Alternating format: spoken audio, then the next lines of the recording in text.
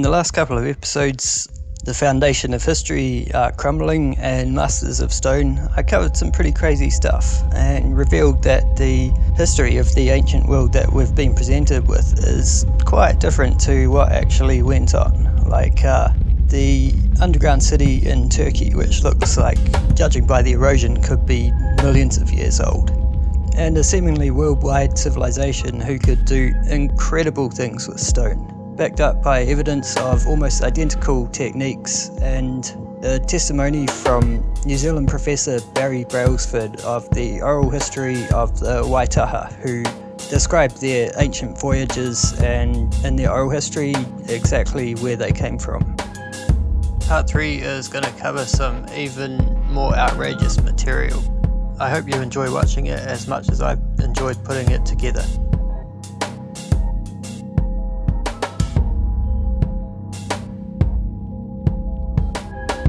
There is evidence all over the world of continuous inhabitation by advanced species, some not even human, and some capable of feats of engineering and stoneworking far superior to humans of today. It's likely some of these are creatures of myth and legend as well as oral history, and some even seem reminiscent of creatures of the Old Testament.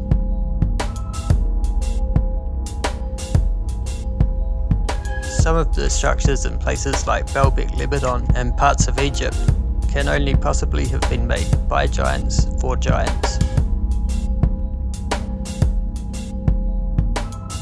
And I'm not talking about little 7, 8 foot ones, they had to have been much bigger. Unfortunately, any real evidence seems to have been clouded by hoaxes, especially this infamous Photoshop competition but fortunately, plenty of evidence does still exist in the form of old newspaper clippings and fragments of bone, which unfortunately are obfuscated as fast as they're discovered. You might have heard of the alleged cover up of giant skeletons by the Smithsonian. Well, it turns out it's official. They've admitted to the destruction of thousands of giant human skeletons some up to 12 feet tall. Sad and pathetic. At the other end of the scale, we find evidence of dwellings, underground cities, and mines which can only logically have been built by little people, for little people, reminiscent of Tolkien's dwarves. Evidence for this, such as the Flores Island Hobbit, has been written off as recently extinct hominids, predecessors of modern Homo sapiens in the Darwinian model. This totally disregards testimony of earnest natives who apparently have seen them up to recent years.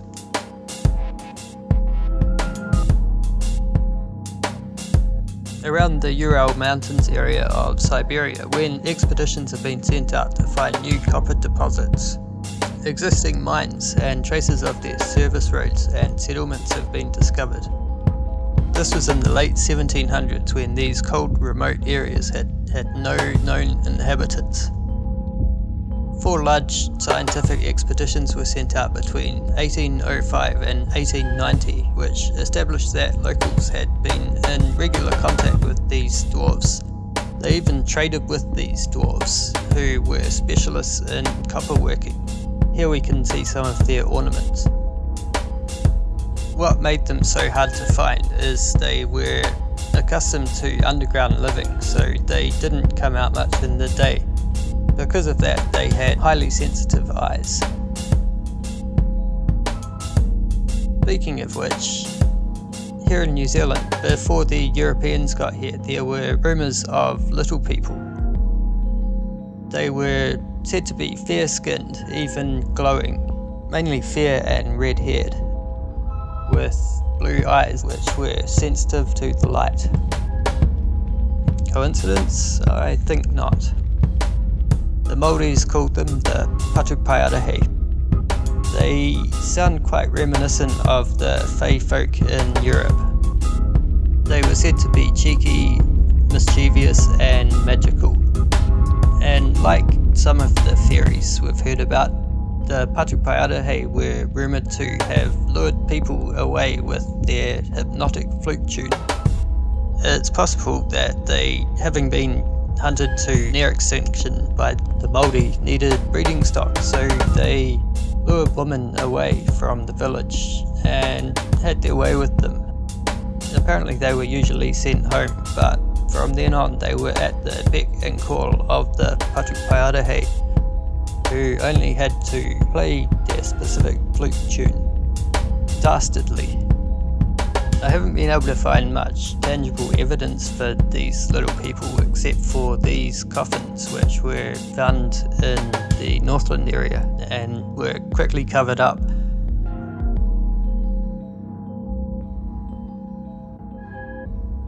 But just yesterday I found this. The silence by New Zealand authorities on our archaeological past is deafening. None more so than in the Northland Waipoua forest, where in the late 80s a couple of million dollars was spent of taxpayers' money on an archaeological exploration which discovered evidence of an ancient civilization in a small section of this vast forest.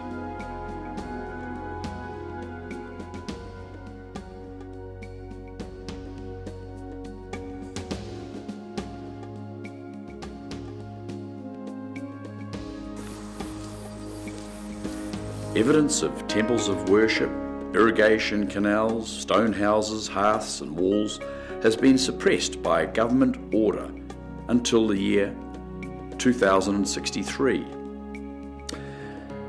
The big question is why is this information suppressed? The government must come clean on this, and we as a nation must cooperate to learn more of our past and celebrate these very early mathematicians and surveyors who are the real tangata whenua of New Zealand.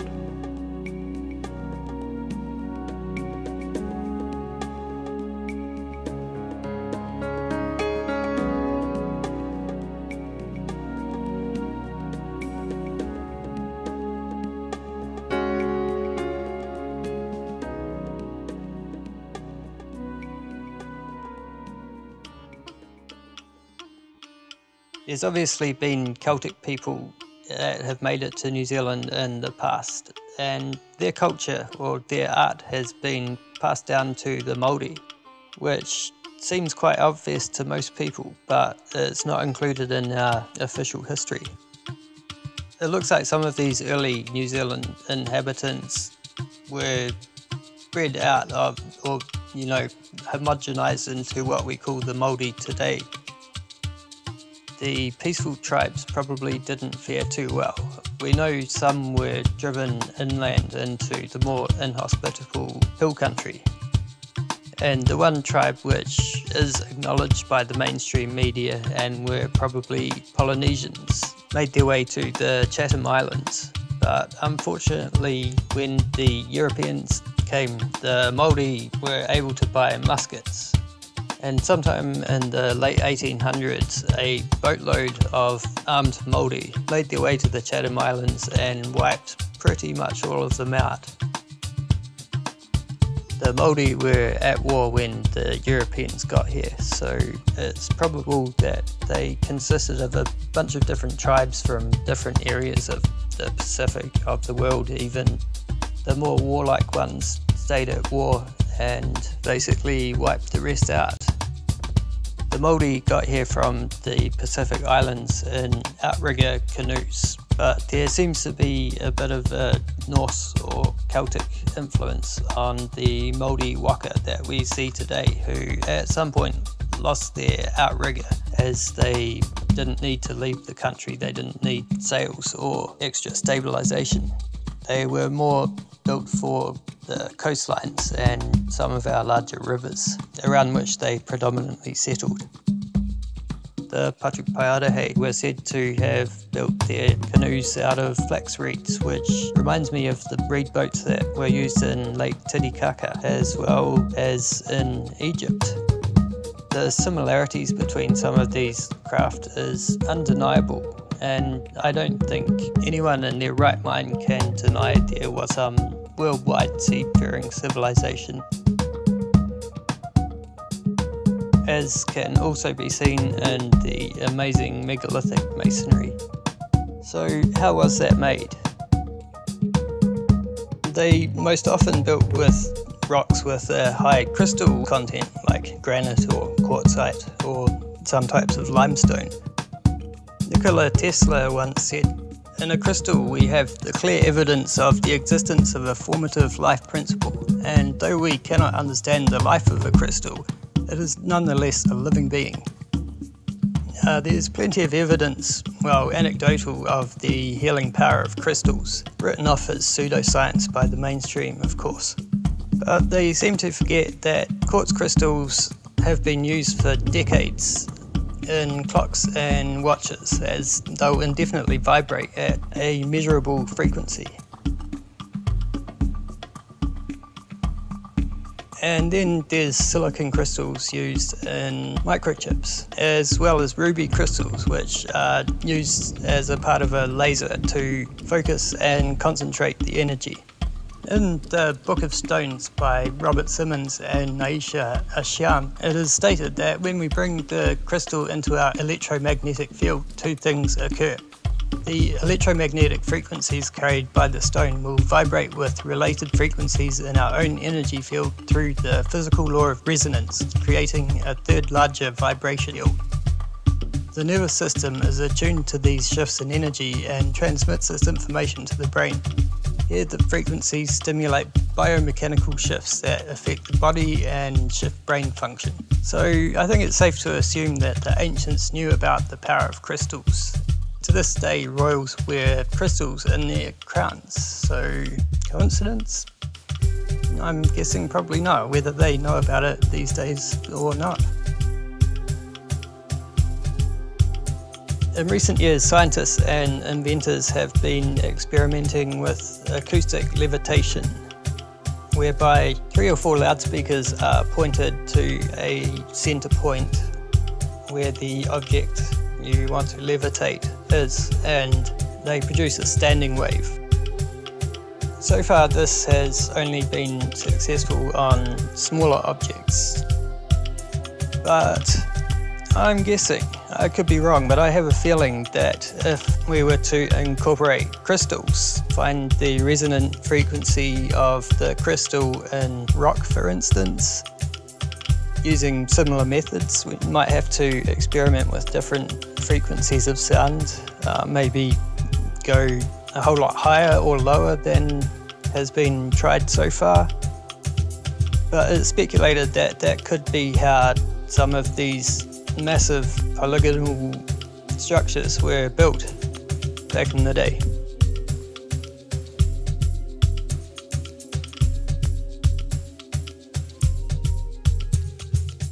Contemporary mad scientist John Hutchison performs similar levitation, but instead of using sound energy, he uses electrical energy by pointing two Tesla coils at the subject. I'm guessing it's a similar principle using a standing wave of electrical energy, but don't quote me on that one.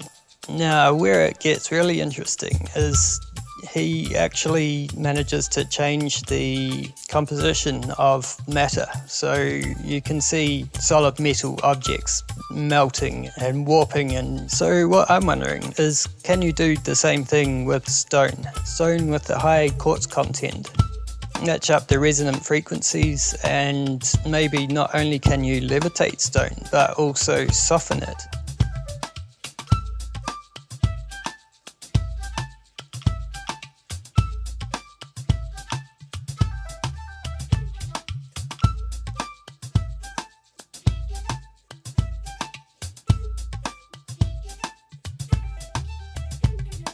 There's a lot of evidence on ancient megalithic structures of rock which has been softened and then basically carved or molded like clay. Evidence for this is all over the place.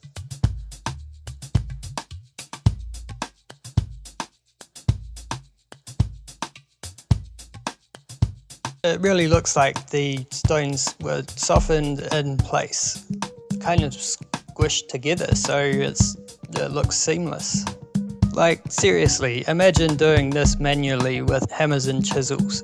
The concept is just crazy. Like, to me, that is much crazier than these alternatives I'm exploring here. But if it's still too far fetched for you, there is even evidence around that granite used to be soft at one point. We all know about the infamous dinosaur footprints with human tracks sort of going in between them, like they were made at exactly the same time, and they probably were. Geologists will tell you this is impossible and it must be fake because, well, it's just not how granite forms, but we have the evidence. Like, look at these so called cart tracks in Malta. We're looking at hard granite, which obviously was once some sort of soft, muddy, or clay like material. So, an interesting theory, but in that case, how would the soft megalithic structures have stayed intact this long and subsequently hardened? I think it explains the cart ruts and the tracks, and this giant footprint made famous by Michael Tellinger, but not the polygonal masonry. And speaking of giants, say there were people around that were, you know, 18, 24 feet tall, you wouldn't need levitation to move these giant stones. I mean, maybe the dozen ton ones that we find used at Baalbek, that could be a bit of a stretch, but you know, these two to 60, 100 ton ones even, that'd be pretty easy for a bunch of giants of that stature. But I'm guessing they used both methods. If the giants didn't have this levitation technology or the stone softening technology, maybe they did have some pretty amazing power tools. Sounds crazy, but check this out.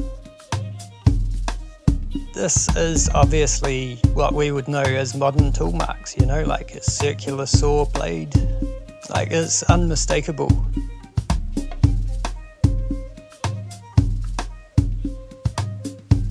This is Turkey, but you know, we see similar evidence in parts of Egypt.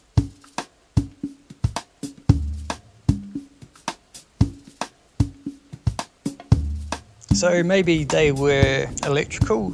We all know about the Giza power plant theory, and we've all probably seen these giant light bulbs, which were probably used to light the pyramids as there's no trace of soot buildup they had to be lighting it somehow. And I'm thinking that the standard explanation by the academics, in which a series of golden mirrors were used to reflect lights deep down the passages, is a complete bunch of crap. So they probably did have electric lighting. And then why not electric tools? The amazing thing is that these tools were technologically far superior to anything that we use these days. And they did a better job too. Some of these flat surfaces are to a tolerance that we wouldn't even bother with these days, like these so-called giant sarcophagi.